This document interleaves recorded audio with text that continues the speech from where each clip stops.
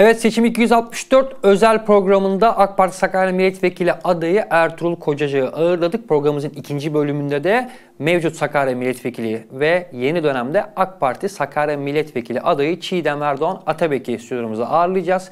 Kendisiyle hem 5 yıllık milletvekilliğini, Sakarya siyasetini 14 Mayıs seçimlerini ve STA'nın mevcut durumunu konuşacağız. Sayın Vekilim hoş geldiniz. Hoş bulduk. Çok teşekkürler Safa Bey. Ee, çok yoğun bir gündeydiniz. Ee, bugün Adapazarı'ndaydınız diye biliyorum. Evet. Ee, o yoğun programınızdan vakit ayırıp geldiğiniz için biz de çok teşekkür ediyoruz sizlere.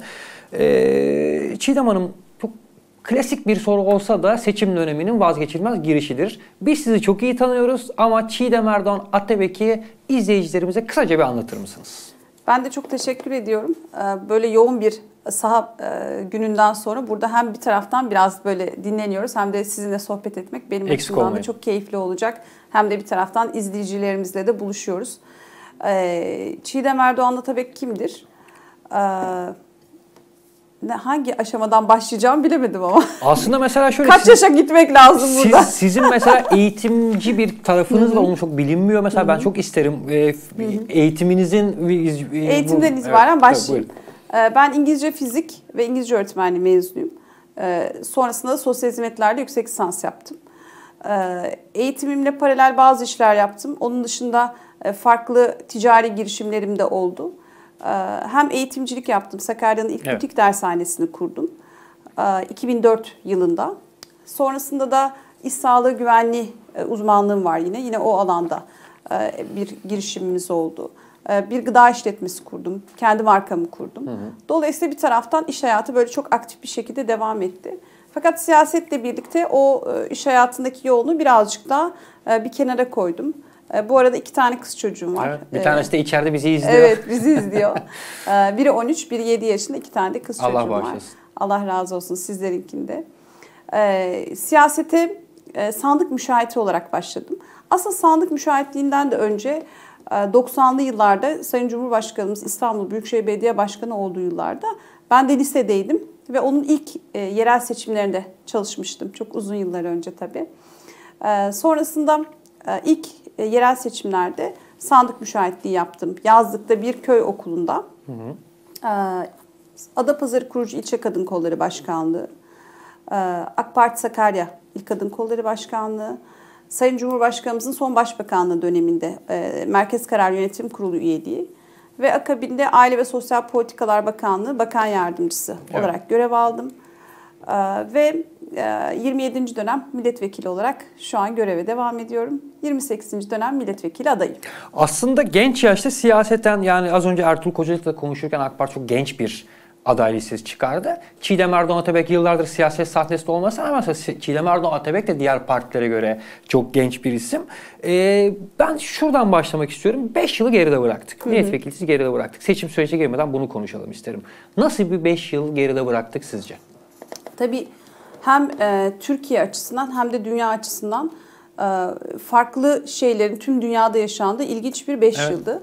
E, dolayısıyla hem Türkiye ölçeğinde hem Sakarya ölçeğinde hem dünya ölçeğinde de baktığımızda e, çok ilginç anlara şahitlik ettik. E, şöyle 5 yıla geri, geriye döndüğümüzde aslında en dikkat çeken pandemi. Evet. Hiç aklımıza gelmeyecek. Sadece bilim kurgu filmlerinde olan bir iki buçuk yıl geçirdik. Dolayısıyla bu iki buçuk yılda birçok sevdik, sevdiklerimizi kaybettik. Hem dünya ekonomisi hem bizim ekonomimiz bu süreçten etkilendi. Çok. Ki e, Türkiye ekonomisi dünya üzerindeki ülkelerle kıyaslandığında bu anlamda en az etkilenen ülkelerden bir tanesi oldu. Ee, sağlık noktasında tüm dünya ağır bir imtihandan geçti. Sağlık hizmetleri noktasında. Yine e, birçok noktada birçok ürün ve işte pandemi döneminde ihtiyaç bulunan malzemelerle alakalı erişim noktasında birçok ülke ağır bir imtihandan geçti. Biz elhamdülillah şükürler olsun hem sağlık hizmetleri noktasında hem de diğer tüm ilacı, kişisel e, hijyen malzemeleri, aşısı her türlü alandaki tüm malzemelere ulaşım noktasında şükürler olsun biz hiçbir sorun yaşamadık. Çok da başarılı bir süreç atlattık. Dolayısıyla bu 2-2,5 yıl, 5 yıllık süreç içinde ee, hem dünya hem Türkiye hem de bizim açımızdan oldukça zor geçti. Evet. Ve e, elhamdülillah AK Parti ve bu anlamda hükümetimiz Sayın Cumhurbaşkanımızın liderliğinde başarılı bir imtihandan geçti. Tam pandemiyi atlattık dedik. Tabii Ege'deki yangınları hatırlayın. Evet. Ee, dolayısıyla orada da ciğerlerimiz yandı. Ee, tüm dünya üzerinde çok büyük orman yangınları oldu. Yine tüm dünyada birçok ülke bu yangınlardan etkilendi. Yine Karadeniz'de hatırlayın bir sel felaketi oldu. Ee, yine 100 yılın sel felaketi. Evet. Ve e, son olarak tabii 11 e, ilimizi etkileyen 100 e, yılın felaketi dediğimiz dünya üzerindeki en büyük depremlerden bir tanesini kendi ülkemizde yaşadık. 11 ilimizde, 11 ilimizin ciddi kaybı, maddi manevi çok ciddi kayıp yaşandı. Birçok canımızı verdiğimiz zor bir süreç oldu. Dolayısıyla şöyle bir baktığımızda 5 yıllık sürece aslında çok büyük, 100 yıl boyunca hiç yaşanmamış olayların üst üste yaşandığı bir 5 evet. yıldı.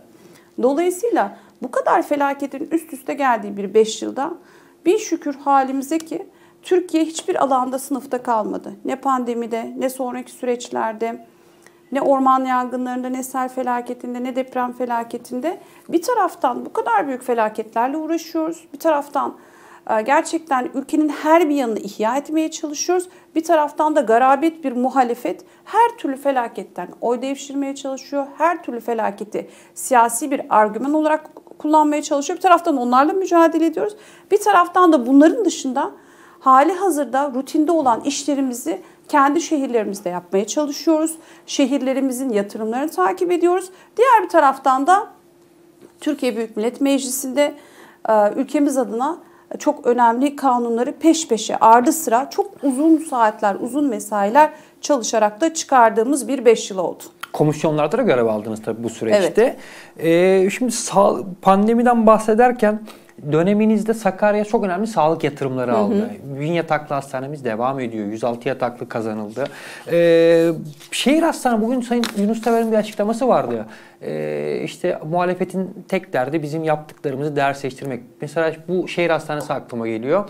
Şehir hastaneleri gereksiz denilirken pandemi döneminde ne kadar hı hı. önemli olduğunu gördük e, döneminizin Sakarya yatırımlarını da buradan değerlendirmenizi hı hı. rica edeceğim. İşte ilk aklıma gelen yerel yönetimlerin çok önemli çalışmaları vardı.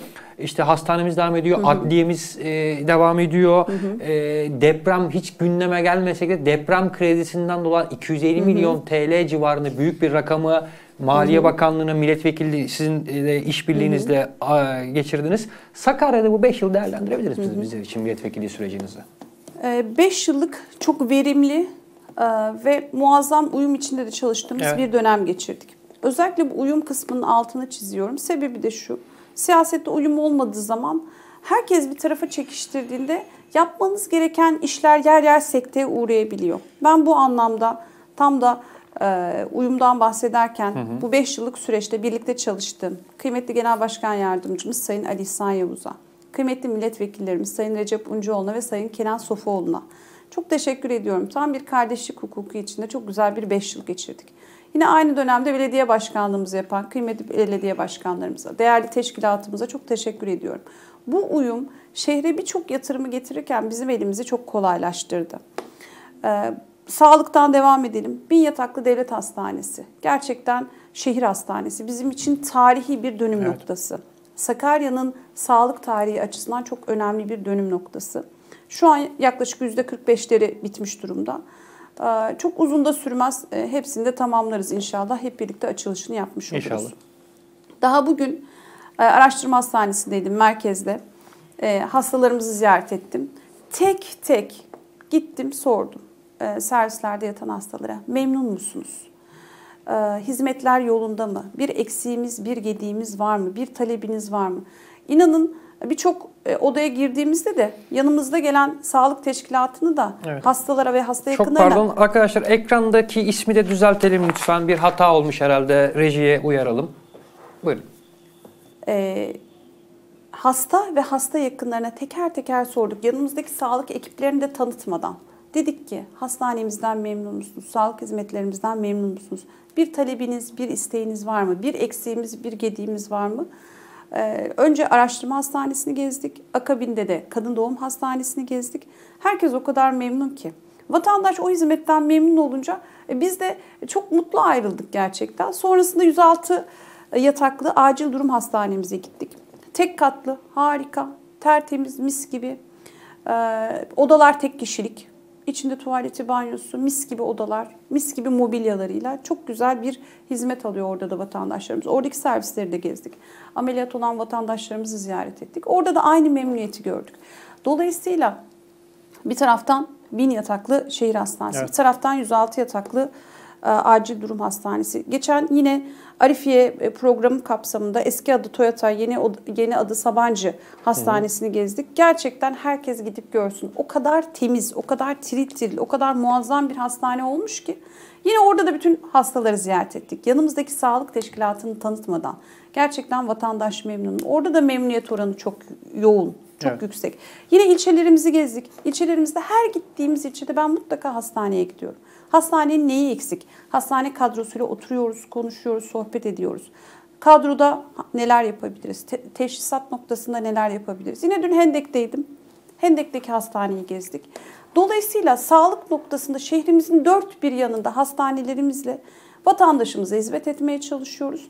İhtiyacı gidermek, daha da iyi şartlara kavuşturmak için bin yataklı hastanemizde devam ediyor. Sağlık böyle. Gelelim eğitime. Eğitim noktasında da bu 5 yılda o kadar önemli yatırımlar yaptık, o kadar önemli işlere imza attık ki. En son biliyorsunuz köy yaşam merkezleri. İlçelerimizde atılda olan köy okullarıyla alakalı çok önemli revizyonlar yaptık. Ve bu köy okullarını e, oradaki vatandaşlarımız, o mahallelinin kullanabileceği, yer yer halk eğitim e, kurslarının olduğu, yer yer farklı e, sosyal çalışmaların olduğu, Oradaki mahallenin neye ihtiyacı varsa öyle alanlara çevirdik. Bazılarında küçük kreşler açtık. Dolayısıyla köylerde atılda olan, atılda kalmış eski köy okullarını revize ederek köy yaşam merkezi yapıp yeniden hayata kazandırdık. Yine şehrimizde deprem sürecinde revize olması gereken tüm binaları, tüm okullarımızı revize ettik. E, dolayısıyla bu anlamda da işte öğrencilerimiz çok rahat ederek eğitimlerini alıyor. E, ulaşım noktasında çok önemli işler yaptık. Daha yeni Ulaştırma Bakanımızı evet. e, uğurladık, ağırladık ve uğurladık. Karapürçek yolu e, biliyorsunuz e, çok uzun yıllardır uzun gündemde olan vardı, bir evet. konuydu. E, temelini attık şükürler olsun. Yine Erenlerden bir otoban çıkışı verdik şehrimize ki orası çok ciddi kullanılacak evet. bir aks ve şehrin girişinin de e, yoğunluğunu çok azaltacak çok güzel bir alternatif yol oldu. Yine Ulaştırma Bakanımızla birlikte e, şehrin işçilerinin bizzat çalışarak yaptığı, Sakaryalı işçilerin ürettiği Türesaç'ta milli trenimizi raylara indirdik. Büyük bir gurur günüydü hakikaten. Çok, çok. Hemen onu söylemişken şunu da eklemek istiyorum. Buyurun. Sakaryalı işçilerimize çok teşekkür etmek istiyorum. Bir taraftan bizim o alın teri, e, emeği çok kıymetli olan işçilerimiz milli tren üretti. Diğer taraftan da neyi üretti? Altay tankını evet. üretti. Yine Sakarya'da tank palet fabrikasında ya burada ne yapacaklar? Hiçbir şey üretemeyecekler. Sattılar, onu yaptılar, bunu yaptılar diye yine kıyameti koparmıştı muhalefet. Her zamanki gibi hatırlarsanız. Fakat Sayın Cumhurbaşkanımızla teşrifleriyle Altay tankını da ordumuza teslim etmiş olduk. Yine Sakaryalı işçilerin elemeğiyle. Dolayısıyla Sakarya tarihe altın harflerle bir taraftan da böyle ürettikleri milli ve yerli hem tankıyla hem treniyle de tarihe de geçmiş oluyor. Dolayısıyla tekrar bir kez daha işçilerimize teşekkür ediyoruz. Ulaş, ulaşımı konuştuk, evet. sağlığı konuştuk. Eğitimi Tabii konuştuk. üstünden geçiyorum. Hı-hı. Çok ayrıntı versek Tabii. saatler sürecek. Evet, evet. Dolayısıyla... Parantez mesela e, sağlık yatırımlarını anlatırken 106 yataklı ve 1000 yataklıyı anlatıyorsunuz ama bugün gittiğiniz hastane de sizin partinizin döneminin eseri. Tabii, yani oraya da hiç girmiyorsunuz tabii, bile. Tabii araştırma hastanesi, kadın doğum hastanesi ki özellikle kadın doğum hastanesini çok mühimsiyorum. Ee, bir kadın olarak önceki kadın doğum hastanesinde, merkezdeki kadın doğum hastanesinde de ilk kızımı dünyaya getirmiştim. Şu anki hastane gerçekten özel hastanelerden evet. çok daha güzel e, temiz, derli toplu bir özel hastane standartında. Dolayısıyla şehrimizin kadınlarını böyle bir hizmetle buluşturmuş olmanın da memnuniyetini yaşıyoruz ki bunu da 5 yıllık aslında süreç içinde evet. hayata geçirdik. Evet. Yine Sayın Cumhurbaşkanımızın teşrifleriyle de açılışını yapmıştık. Dolayısıyla e, sayacak o kadar çok icraatımız, o kadar çok yatırımımız var ki yine adliye binamız biliyorsunuz inşaatı devam ediyor. Şehrin önümüzdeki 50 yıllık adliye ihtiyacını karşılıyoruz.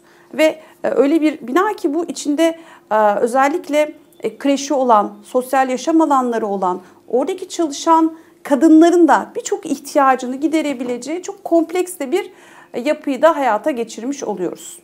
Peki bir çırpıda bunları e, anlatıyorsunuz. Tabii ki parantez açıp çok da geniş anlatılması gerekiyor. Evet. Bunları sahada da şu anda anlatıyorsunuz. Hı hı. Sahada bir seçim atmosferi ne durumda? Vatandaşlar AK Parti'ye ve Sayın Cumhurbaşkanı yönelik nasıl bir e, psikoloji içerisinde, nasıl bir teveccüh içerisinde? Bize genel olarak Sakarya bir seçim atmosferini anlatabilir misiniz acaba? Size çok ilginç bir yorumda bulunayım. Buyurun lütfen. Ee, hani çıkıp anlatıyorsunuz bunları diyorsunuz ya. Çoğu yerde anlatmama gerek kalmıyor. ben e, konuya başlıyorum, vatandaş devam ettiriyor. Hatta bir vatandaş bir yerden bırakıyor, başka bir vatandaş e, o bıraktığı yerden alıyor. Dolayısıyla hemşehrilerimiz bir kere bizim yaptıklarımızı çok yakinen takip ediyorlar. Bundan büyük bir memnuniyet duyuyorum. E, ve e, AK Parti'nin çalışmalarından memnuniyetlerini de ifade ediyorlar. Sahada ben yaklaşık 17 yıldır bütün seçimlerde aktif görev aldım. Bütün seçimleri gördüm. Ve partimiz 20 yılı devirdi. 20 yıllık iktidarlık gerçekten de çok uzundur. 20 yıl Türkiye tarihinde bir Kesinlikle. ilk. İnsanlar şöyle bir beklenti içinde olabilirler ki muhalefetin beklentisi o yöndeydi. Vatandaş bıkmış, vatandaş umudunu kesmiş, vatandaş güvenmiyor. İşte 20 yıl olmuş artık bir değişim istiyorlar. Saha bunun tam zıttını söylüyor. Vatandaş şunu söylüyor. Bunu çok samimiyetle söylüyorum. Yaparsa yine AK Parti yapar diyor.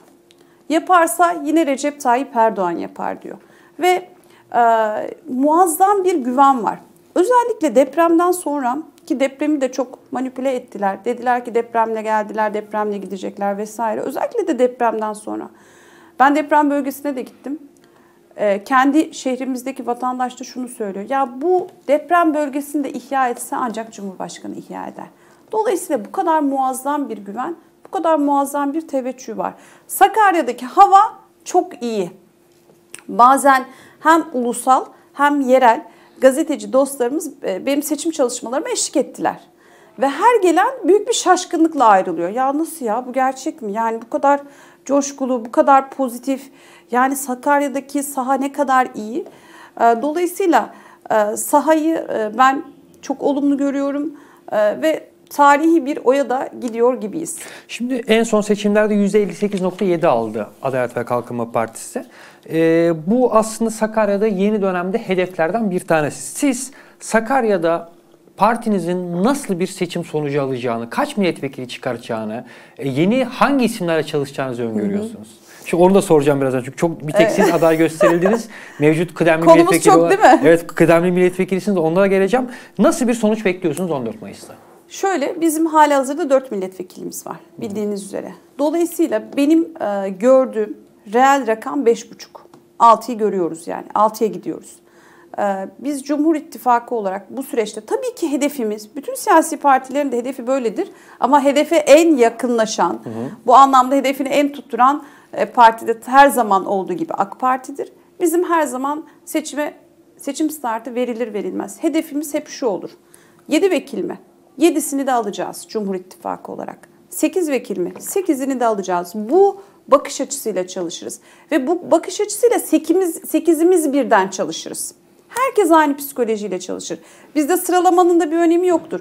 Bir de 8 gibi çalışır, evet. 8 de 8 gibi çalışır, 8 de 1 gibi çalışır. Ki zaten e, meyvesini de alıyor AK Parti siyaseti yapanlar. Geçen dönemin 6. sırası Büyükşehir Belediye evet. Başkanımız, 7. Evet. sırası 1. sıra adayımız. Evet. Dolayısıyla bizde sıralamaların önemi yoktur. Herkes aynı psikolojiyle. Ben bir oy daha nasıl alabilirim? Bir oy daha nasıl artırabilirimin psikolojisiyle çalışır. Tabii ki hedefimiz Cumhur İttifakı olarak 8-0. Evet. Ama benim öngördüğüm e, soruyorsanız ben 6'yı e, çok rahat AK Parti'nin alabileceğini öngörüyorum. Sahadaki durum ve performans da ve yapılan anket sonuçları da bunu gösteriyor. Sayın Cumhurbaşkanı'na yönelik destekte bir rekor bekliyor musunuz? Bu dönem MHP de çok iyi çalışıyor. Cumhur İttifakı kapsamında onu görüyoruz. Bugünkü seçim 264 programında da şey yaptık.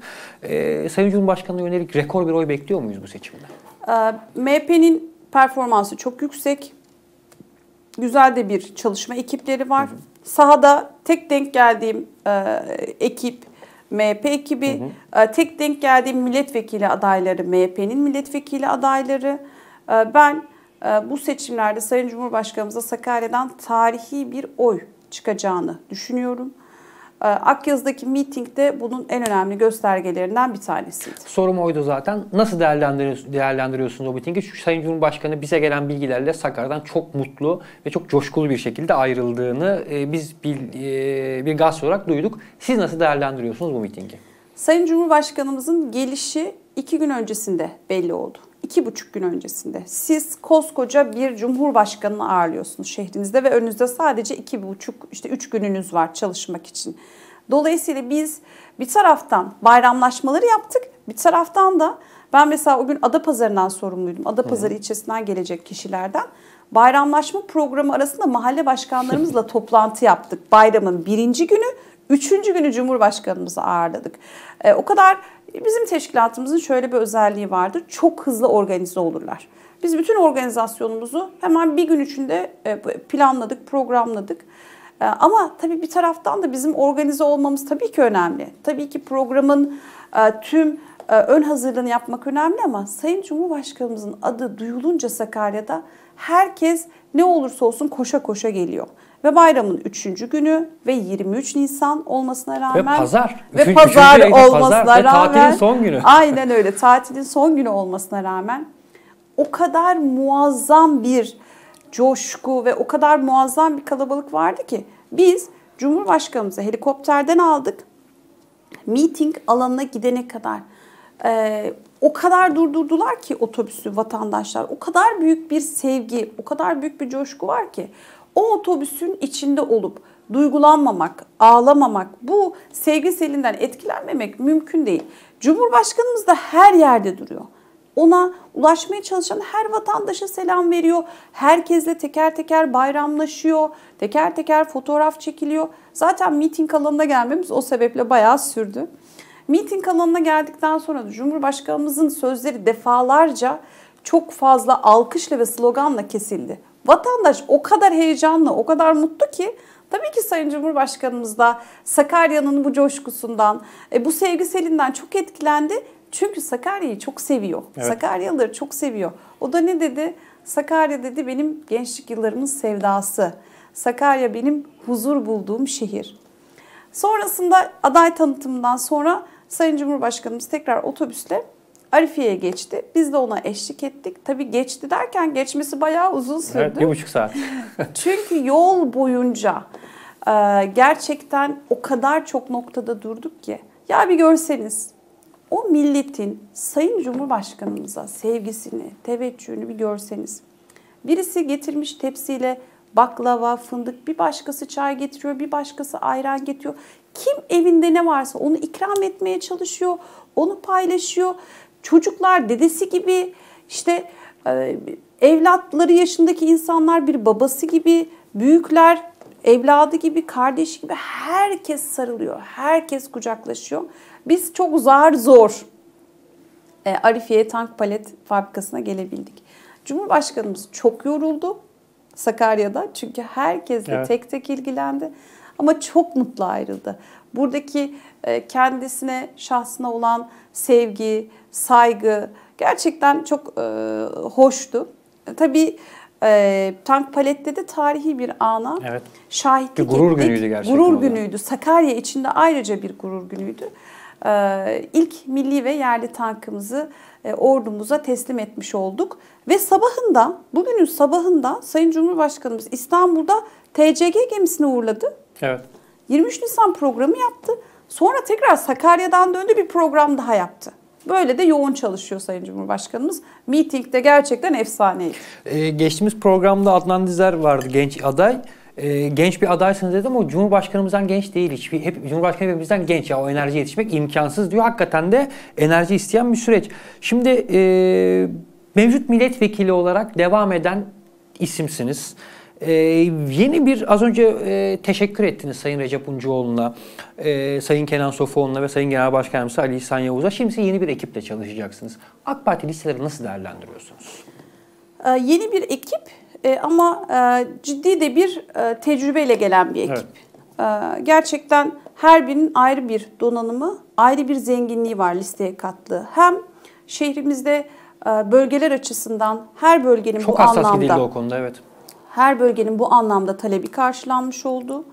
Vatandaşta böyle bir beklenti vardı. Hem bizim şehrimiz çok kültürlü bir şehir. Evet. Ee, çok kültürlü olması da bizim en büyük zenginliğimiz, en büyük farkımız. Dün gelen ulusal basın ekibine de e, şehrimizi anlatırken o kadar bunu keyifle anlattım ki şehrimizde işte e, çok kültürlülük var.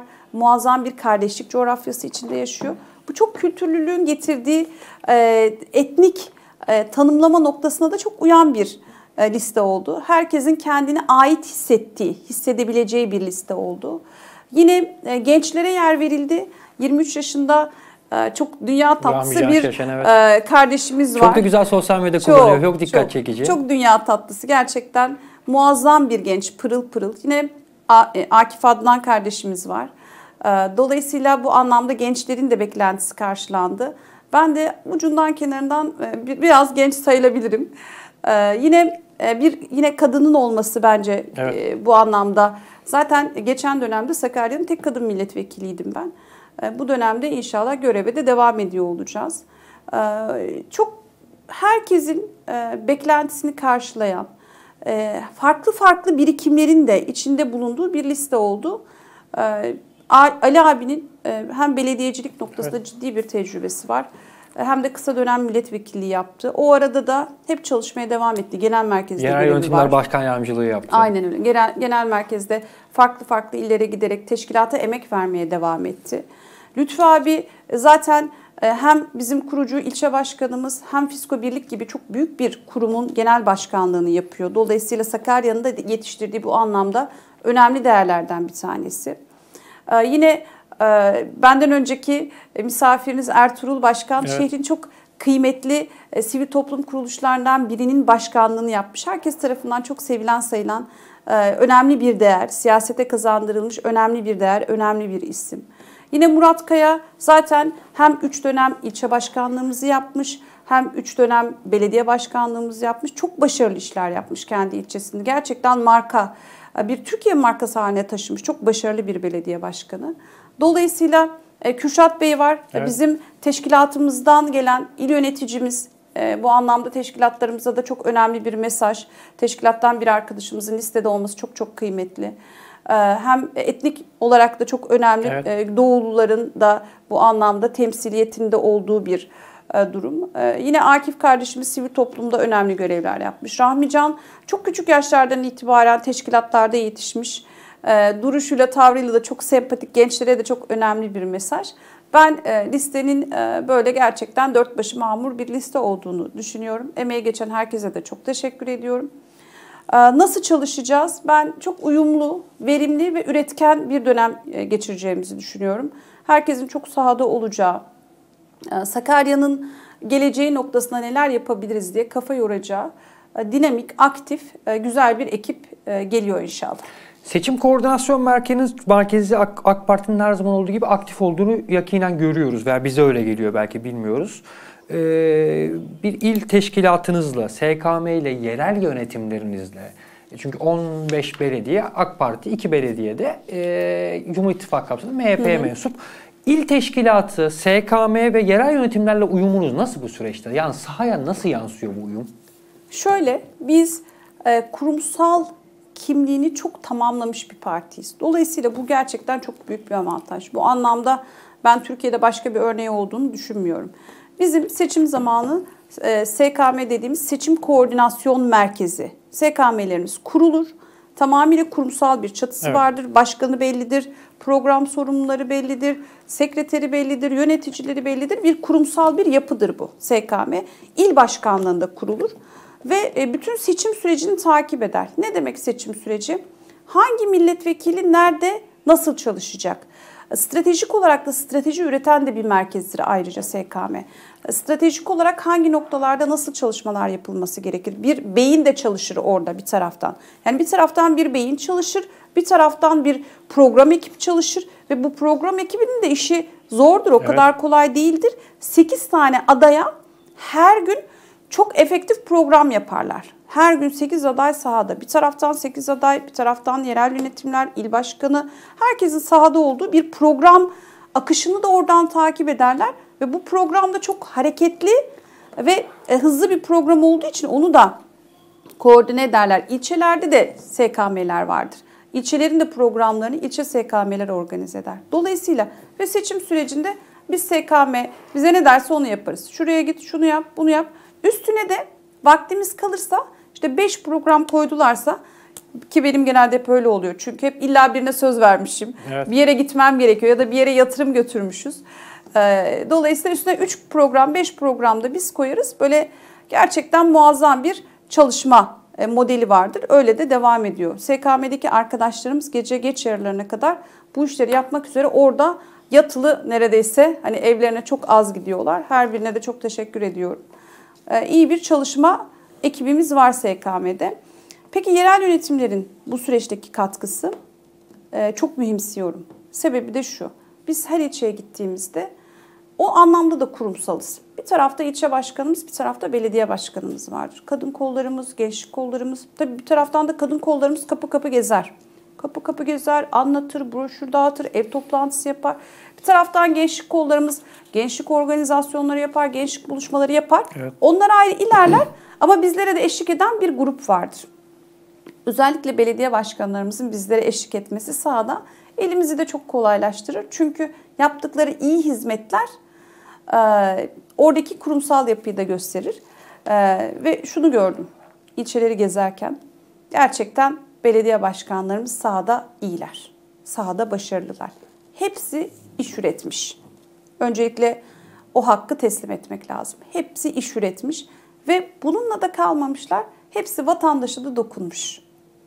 O yüzden belediye başkanlarımızın bu sürece katkısı çok muazzam. Emeklerine teşekkür ediyoruz. Şimdi e, biz son 5 yılda 2019'da yerel yönetimler Sakarya'da seçime girdi. E, mevcut iktidarın yerel yönetimlerle olan işbirliğini Sakarya'da birçok projede görüyoruz. Evet. Şimdi sizin hedefiniz de e, 6 milletvekili diyorsunuz ve az önce dediğin gibi tamamı Cumhur İttifakı kapsamında yönetilen belediyeler. Ankara ile yerel yönetimlerin çok iyi bir işbirliği süreci olacak mı bu dönemde? Hep olmuştu ama bu dönem sanki yeni bir ruh, e, bir Türkiye yüzyılı ki söylemlerin çoğunları Türkiye yüzyılını Sakarya'dan Türkiye yüzyılını inşa edeceğiz gibi söylemler de var. E, bu uyum Sakarya neler kazandıracak sizce? Şunu söyleyeyim. E, bu uyum olmasaydı zaten biz 5 yıllık yıldır iş üretemezdik. Sebebi de şu. Yerel yönetimlerin bütçeleri belli. Finansmanları belli, organizasyonları da belli. Yerel yönetimlerin Ankara desteği olmasa birçok projeyi hayata geçirmek evet neredeyse imkansız hale Aynen gelebilir. Öyle.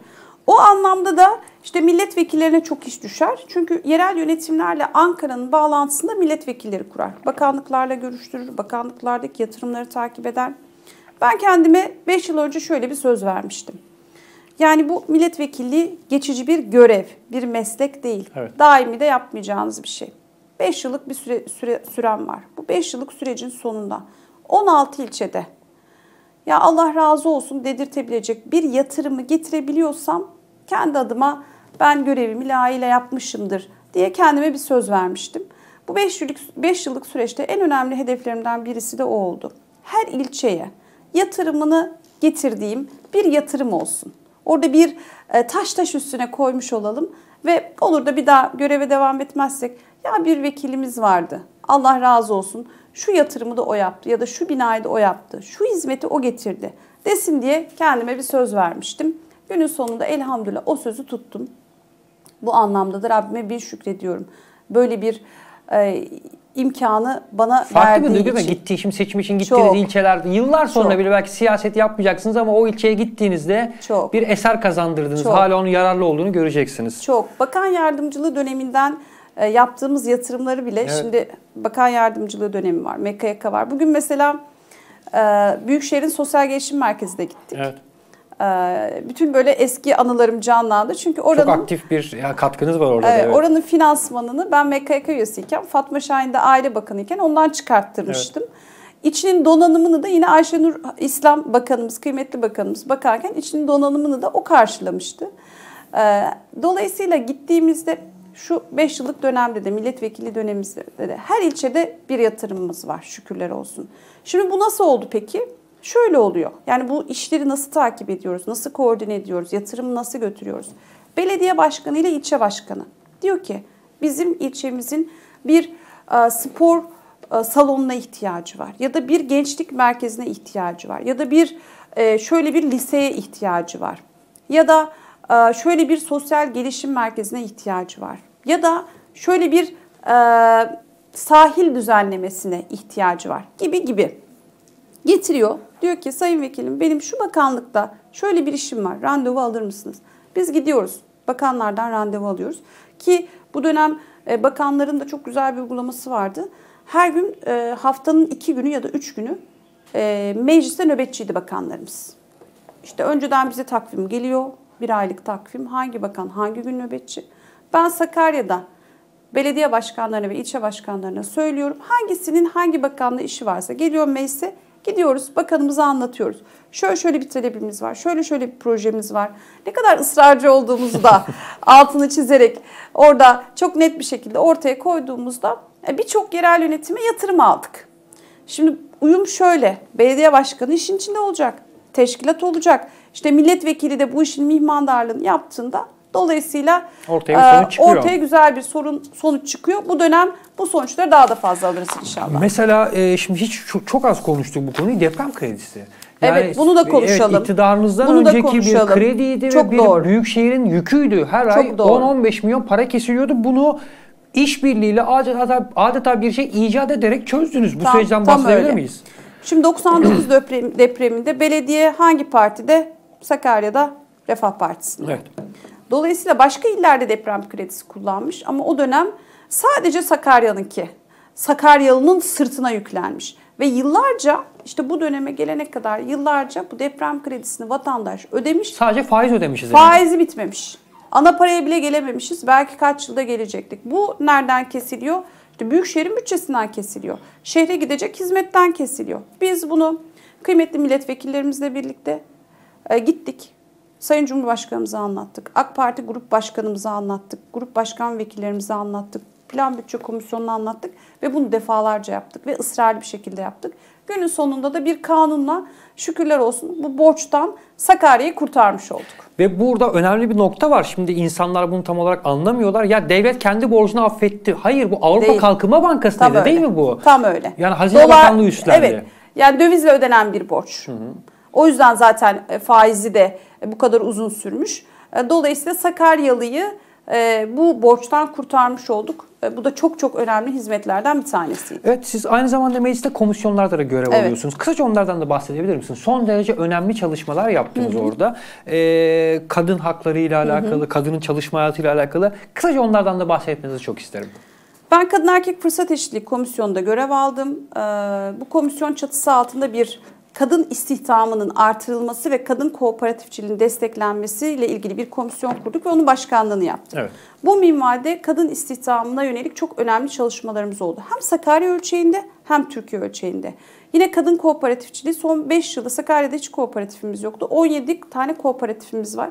Hepsinin kurulmasına irili ufaklı katkılarım oldu. Maddi, manevi ya da fikirsel. Hı hı. Dolayısıyla bugün geldiğimiz noktada Sakarya kadın kooperatifleri noktasında örnek illerden bir tanesi. Hatta kendi komisyonumuzla birlikte muhalefet milletvekillerinin de olduğu bir heyetle Sakarya'ya gelerek yerinde bir inceleme yapıp kadın kooperatiflerini ziyaret ettik. Yine kadın istihdamı noktasında Sakarya ön alan illerden bir tanesi. Çok ciddi e, kadın çalışanı olan fabrikalarımız var. Kadın dostu ödüller almış. Evet. Bu anlamda Sakarya iyi örneklerin olduğu bir şehir. Ee, yine kadın yönelik şiddetle mücadele araştırma komisyonunun sözcüsüydüm.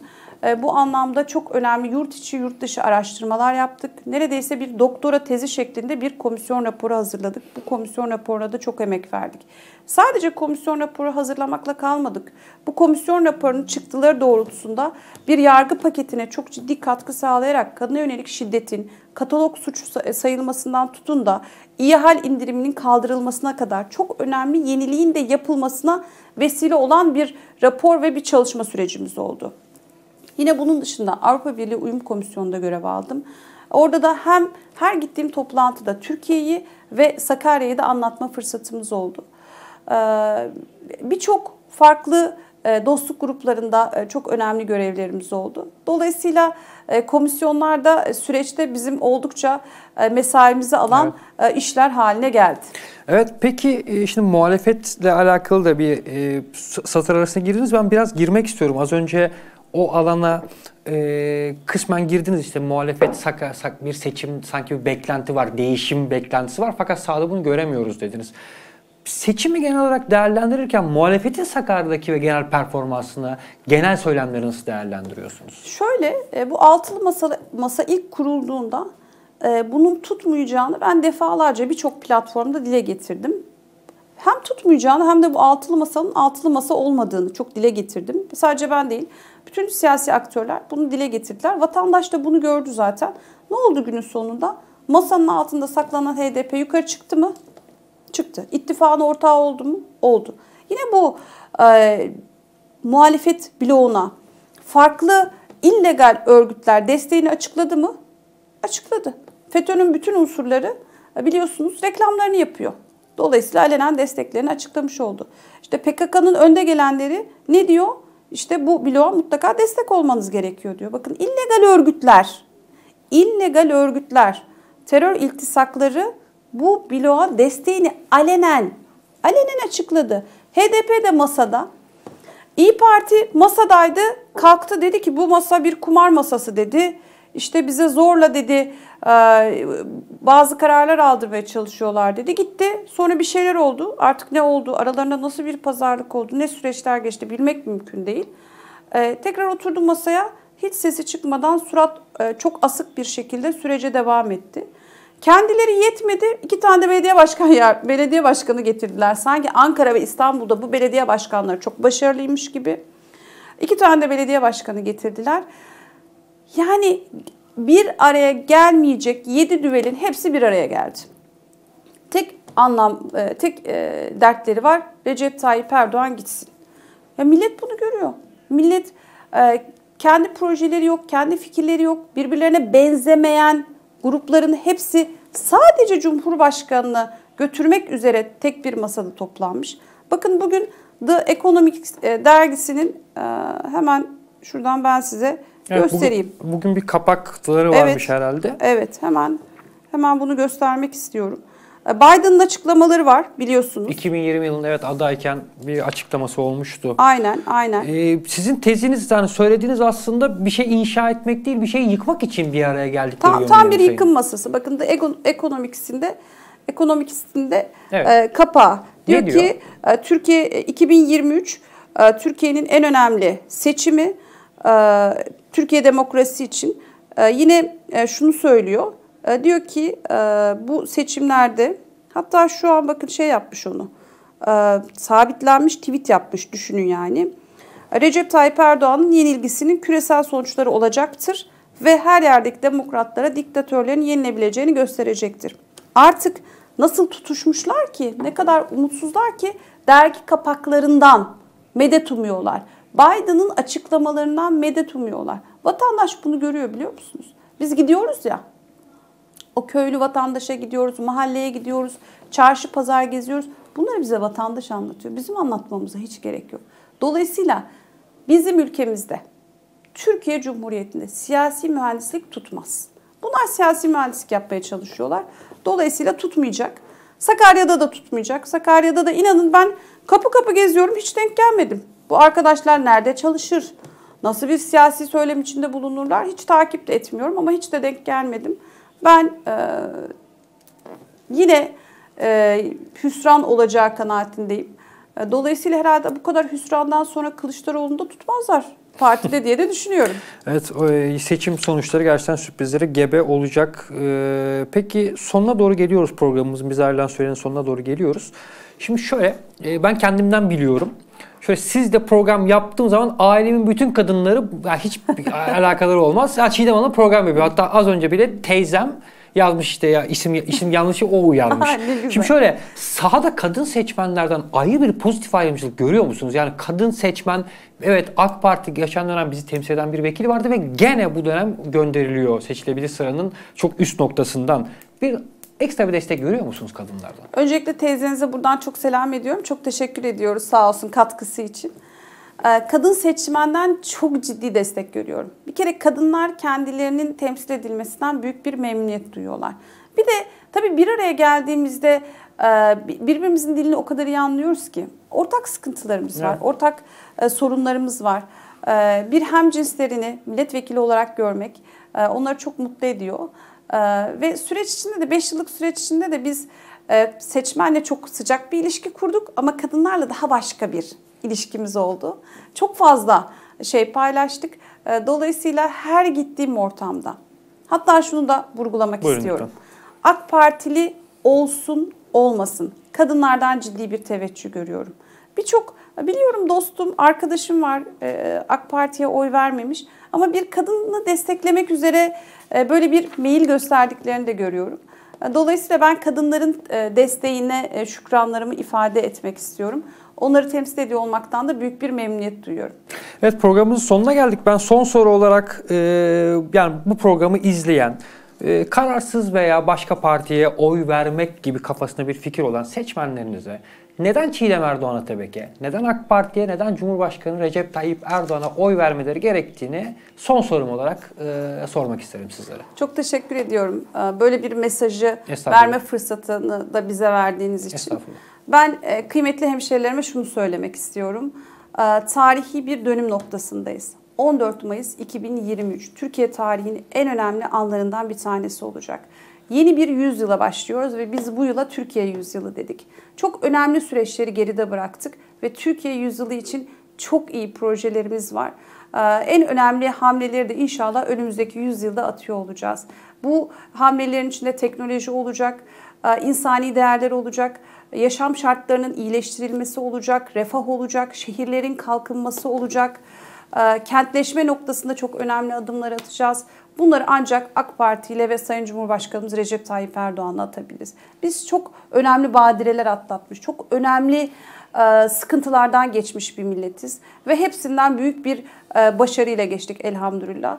E, şimdi bu seçimlerde de inşallah Sayın Cumhurbaşkanımızla istikrarlı bir şekilde Cumhur İttifakı kadrolarıyla yola devam ederek şehrimize ve ülkemize hizmet ediyor olmaktan büyük bir memnuniyet duyuyoruz. Ayrıca Sayın Cumhurbaşkanımıza da ben teşekkürlerimi sunmak istiyorum. Şehrin bir kadını olarak, bir evladı olarak kadınlara verdiği değerden dolayı 27. dönemde şehrin tek kadın milletvekili olarak görev yaptım. Kadınları Türkiye Büyük Millet Meclisi'nde temsil etmenin mutluluğunu yaşadım. İnşallah 28. dönemde de tüm arkadaşlarımızla, dostlarımızla birlikte şehrimize hizmet ediyor olmaktan büyük bir memnuniyet duyacağız sizlerin destekleriyle. Sağ olun, var olun.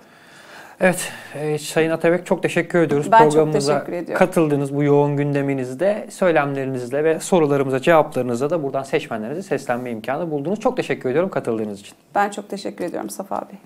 Evet, bizler AK Parti milletvekili adaylarını ağırlamaya devam edeceğiz. Buradan bir duyuru da yapmış olalım. E, seçim 264 özel bütün partilerin e, milletvekili adaylarını ve milletvekillerini konuk etmeye devam ediyor. Biz 9 8 Mayıs'ta Murat Kaya, Kürşat Kılıç ve Rahmican Şeşen'le gene canlı yayında ayrı ayrı programlarla karşınızda olacağız. 3 ee, milletvekili adayına seçim gündemini soracağız ve değerlendireceğiz. Bugün Çiğdem Erdoğan Atabeki ve Ertuğrul Kocacığı stüdyolarımızda ağırladık. Seçim sürecini konuştuk. Sayın Atabek'te 5 yıllık milletvekili döneminde Sakarya'da neler yapıldığını konuşmaya çalıştık ve 14 Mayıs seçimlerinin önemini kendisine sorduk ve cevaplarını aldık. Evet seçim 264 özel burada bu akşam sona eriyor. Biz yarın akşam gazeteler soruyorlar. Ben tekrar karşınızda olacağım. Ee, aynı zamanda da seçim 264 özel diğer programlara devam edecek. Gündüz Özgür Arık, e, Zafer Tokuş ve Kenan Çatalbaş'ta Seçim 264 programında gündemi değerlendirmeye devam edeceğiz. Seçim ekranı TV 264'te atmaya sürecek. Tekrar buluşana kadar esen kalın.